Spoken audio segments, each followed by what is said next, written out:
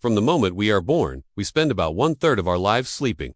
But have you ever wondered why we need to sleep? I mean, it's not like we have to sleep. I can stay up all night and get a lot of work done. You can watch many videos and learn a lot of things.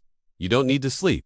So why do we sleep? Well, when you sleep, almost everything in your body slows down. Your heart beats slower, your breathing becomes slower and more shallow, and your muscles become relaxed. Even your brain, which is the most active organ in your body, slows down its activity. Now, Scientists don't know exactly what happens in our brains when we sleep, but they have some clues. They found out that when you sleep, the amount of energy consumed by your brain decreases by about 60%. That's a lot of energy. And this happens because when you sleep, your brain goes through a cycle of different sleep stages, and each stage has a different brainwave pattern. The brainwave is a pattern of electrical activity in your brain when you're awake. Your brain produces these electrical signals so that the different parts of your brain can communicate with each other. These signals can be picked up by electrodes placed on your scalp, and scientists use them to measure brain activity. When you are awake, your brain produces fast beta waves. As you drift off to sleep, your brain begins to slow down and produce alpha waves. Then you go into a deeper sleep with theta waves, and at the deepest point of sleep, your brain produces delta waves. It is very hard to wake someone up during this stage of sleep. During this stage, your brain is doing a lot of important things